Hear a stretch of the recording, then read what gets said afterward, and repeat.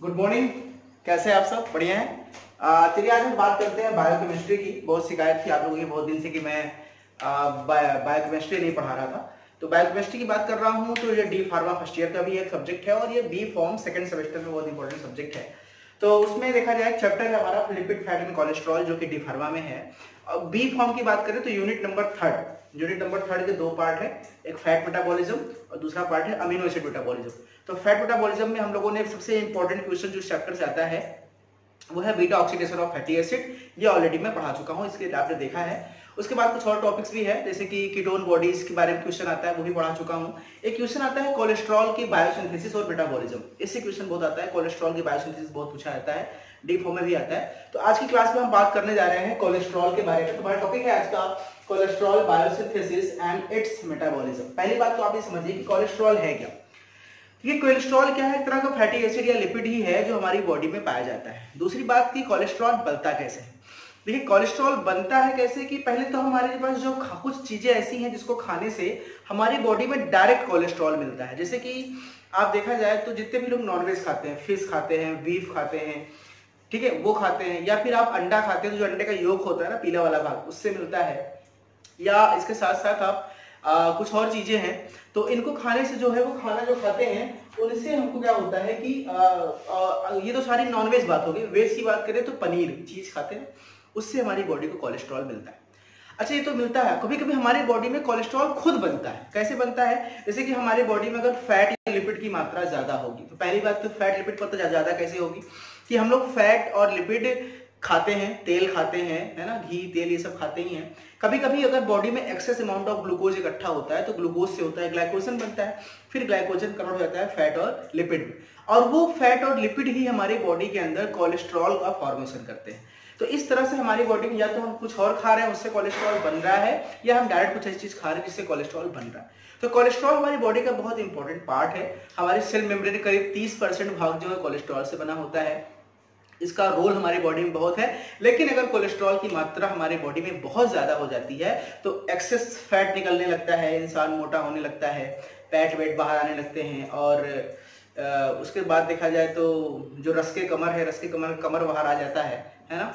और weight gain करने लगता है इंसान, फिर उसको कार्डियक डिज़ीज़ भी होने लगती है ब्लड प्रेशर की प्रॉब्लम होने लगती है तो कई प्रॉब्लम्स भी होने लगती है अगर कोलेस्ट्रॉल बॉडी में बढ़ जाए। तो आज की क्लास में हम जानने जा रहे हैं कि कोलेस्ट्रॉल का डेफिनेशन उसकी डिटेल्स और उसके बायोसिंथेसिस की बात करेंगे कि वो कैसे बनता है। ठीक है? तो सबसे पहले हम बात करेंगे जो एक तरह का क्लासिफिकेशन थोड़ी सी बात करें। तो जो कोलेस्ट्रॉल डिजायर्ड लिपिड है, यानी इसको हम पॉइंट वाइज देखना चाहें तो क्या है? कोलेस्ट्रॉल एक प्रकार का डिजायर्ड लिपिड यानी कि हमारे बॉडी के लिए इंपॉर्टेंट लिपिड है। Is a type of desired lipid और 30 परसेंट सेल मेम्ब्रेन करीब 30 परसेंट भाग जो होता है, वो कोलेस्ट्रॉल से मिलकर बना होता है, ठीक है? हम कह सकते हैं कि about 30 percent part of our cell membrane is consist of cholesterol ठीक है? तो आपको समझना कितना इंपॉर्टेंट है। सोर्सेस क्या है? चीज़ है, एक यॉक है, मीट है है ना? फिशेज है फ्लेश है, वो सारे क्या है? इसके सोर्सेज होते हैं। और कुछ और प्रॉपर्टी की बात कर ले तो जो cholesterol because you know very well कि फैटी एसिड है लिपिड है तो वाटर सॉल्युबल नहीं होगा।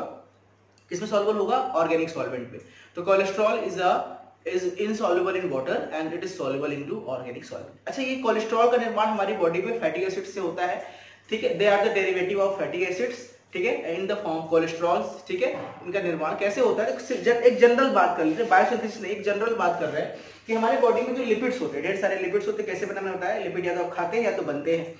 ये लिपिड कन्वर्ट हो जाते हैं स्टेरॉल यानी ढेर सारे लिपिड्स के मॉलिक्यूल जब आपस में इकट्ठा होंगे तो क्या बनाएँगे? Sterol I repeat they form sterol और जब स्टेरॉल आपस में इकट्ठा होते हैं तो क्या बनाते हैं? कोलेस्ट्रॉल ठीक है? यानी लिपिड से स्टेरॉल और स्टेरॉल से कोलेस्ट्रॉल बनता है। जिसको हम क्या लिख सकते हैं? कि in our body when the large amount of lipids are aggregated they convert into the sterol and sterol is converted to the cholesterol ठीक है? बदलता है। अब ये जो कोलेस्ट्रॉल हमारे बॉडी में क्या ये कोलेस्ट्रॉल ही बना रहता है, या कोलेस्ट्रॉल हमारी बॉडी में कुछ और भी बनाता है, ठीक है? तो यहाँ से तो लिपिड से लेकर कोलेस्ट्रॉल तक था। अगर हम इतनी बात करें दिस इज़ कॉल्ड बायोसिंथेसिस ये क्या है? बायोसिंथेसिस है, यानी इस पर निर्माण हो रहा है। अब फिर कोलेस्ट्रॉल किसमें टूटता है? इसकी बात करें तो this is called metabolism cholesterol का मेटाबॉलिज्म का मतलब है कोलेस्ट्रॉल किसमें टूटता है और क्या क्या बनाता है। तो कोलेस्ट्रॉल हमारे बॉडी में तीन बहुत अहम चीज़ों का निर्माण करता है। इसको समझिए। पहला तो बाइल एसिड हमारी बॉडी के अंदर जो बाइल एसिड का फॉर्मेशन होता है, वो कोलेस्ट्रॉल से होता है। और अगर हम बात जो हमारी बॉडी में स्टेरॉइडल हार्मोन्स होते हैं, या बेसिकली सेक्स हार्मोन्स होते हैं, या एडिनल कॉर्टिकल ग्लैंड के हार्मोन्स होते हैं, वो भी कौन बनाता है? कोलेस्ट्रॉल बनाता है। और विटामिन डी हमारे बॉडी में जो बनता है, वो कौन बनाता है? कोलेस्ट्रॉल बनाता है। यानी कोलेस्ट्रॉल हमारी बॉडी में तीन तरह के मेटाबॉलिज्म करके तीन तरह कंपाउंड बना सकता है। एक बाइल एसिड एक स्टेरॉइडल हार्मोन और विटामिन डी तो आपके डी फार्मा में तो केवल बायोसिंथेसिस ही पूछता है, लेकिन बी फॉर्म एग्ज़ाम में कभी कभी डिटेल में मेटाबॉलिज्म भी पूछ लेता है जिसमें आपको दिखाना होता है कि बाइल एसिड कैसे बनता है स्टेरॉइड कैसे बनता है और विटामिन डी कैसे बनता है। ये आपके बी फॉर्म में पूछ सकता है। तो अब हम आज बात करने जा रहे हैं कि कैसे बनता है कोलेस्ट्रॉल ये तो बायोसिंथेसिस की शॉर्ट में हो गई।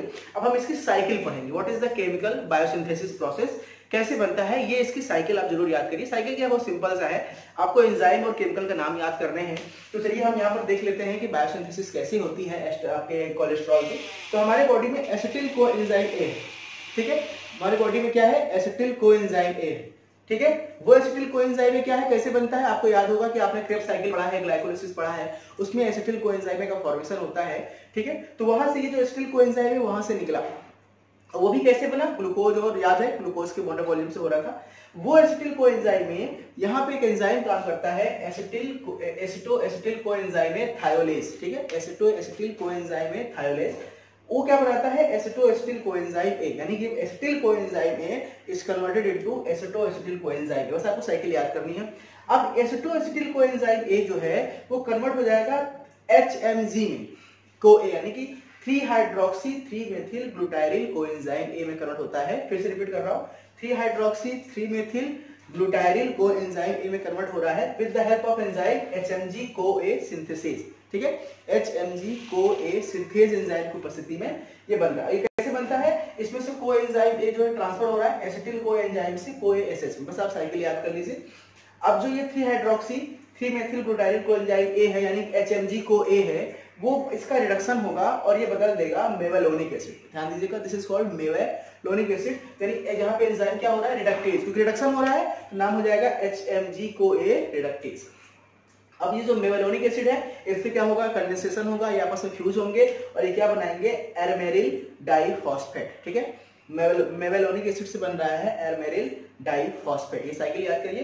फिर एरमेरिल डाइफॉस्फेट से क्या बनेगा? स्क्वेलिन। क्या बनेगा? स्क्वेलिन। स्क्वेलिन को ही हम लोग इसका एंजाइम जो होगा स्क्वेलिन सिंथेज एंजाइम याद करना बहुत आसान है। जो नीचे बन रहा है आगे सिंथेज लगा दो। नया कुछ बन रहा है तो, तो क्या बन रहा है? स्क्वेलिन सिंथेज एंजाइम कौन सा काम करेगा यहाँ पे? स्क्वेलिन सिंथेज फिर ये स्क्वेलिन सिंथेज फिर कन्वर्ट होगा फर्दर सेवन डी हाइड्रोकोलेस्ट्रॉल में।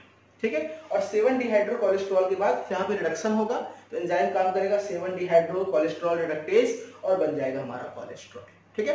तो इस तरह से एस्टिल को एंजाइम से कोलेस्ट्रॉल बनने में इतने स्टेप्स होते हैं। आई रिपीट फिर से कर रहा हूँ कि एस्टिल को एंजाइम से बना एसिटोएसिटिल को एंजाइम है, फिर उससे बना थ्री एच एम जी को ए शॉर्ट फॉर्म में, ठीक है? फिर उससे बना मेवालोनिक एसिड फिर उससे बना एरमेरिल डाइफॉस्फेट फिर उससे बना स्क्वेलिन स्क्वेलिन से बना सेवन डी कोलेस्ट्रॉल एंड फिर बन गया हमारा कोलेस्ट्रॉल ये साइकिल एग्ज़ाम में जब भी पूछेगा, आपको ये साइकिल बना के याद करनी है और लिखनी दो तीन बार बनाएँगे, आपको याद हो जाएगा। तो ये हमारा टॉपिक था बायोसिंथेसिस ऑफ़ कोलेस्ट्रॉल अब हम बात करेंगे नेक्स्ट क्लास में, अगली क्लास में मेटाबॉलिज्म ऑफ़ कोलेस्ट्रॉल उससे पहले कुछ और देख लेते हैं। अगली हेडिंग है बायोलॉजिकल सिग्निफिकेंस क्या है इसका बायोलॉजिकल सिग्निफिकेंस देखिए, आप सब समझ रहे हैं। मैंने पहले ही बता दिया कि सेल मेम्ब्रेन का 30 परसेंट पार्ट इससे बना है। ये हमारी बॉडी के अंदर डिजायर्ड लिपिड बनाता है। डिजायर्ड लिपिड कौन से? जैसे कि फैटी एसिड्स बनाते हैं एलडीएल बनता है एचडीएल बनता है ना high density lipid low density lipid इसका फॉर्मेशन करता है। ठीक है? इसका निर्माण होता है। तीसरा रोल इसका क्या है? कि हमारे बॉडी हमारे बॉडी में बाइल एसिड बनाता है। चौथा रोल क्या है? कि जितने भी स्टेरॉइडल हार्मोन्स होते हैं, उसका निर्माण करता है। पांचवा क्या है? विटामिन डी का निर्माण करता है। ठीक है? तो इस तरह के इसके जो इंपॉर्टेंट बायोलॉजिकल इसके इंपॉर्टेंस है। अगर हम बात करें इसके साइड इफ़ेक्ट की तो मैंने बताया कि कोलेस्ट्रॉल के अगर लेवल हमारे बॉडी में ज़रूरत से ज़्यादा हो जाता है तो वो ढेर सारी बीमारियाँ उत्पन्न कर सकता है कोलेस्ट्रॉल बढ़ सकता है। उसमें कुछ साइड इफ़ेक्ट जैसे ओबेसिटी मोटापा, ठीक है? Cardiac disease cardiac arrest heart attack atherosclerosis हो सकता है। आपको पता है तो कैसे होता है? एथरोस्क्लोरोसिस पढ़ा है आपने पहले ही।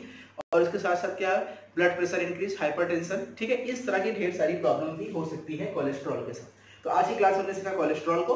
हम नेक्स्ट लेक्चर लेकर आएँगे आपके पास तो हम बात करेंगे कोलेस्ट्रॉल की मेटाबॉलिज्म की।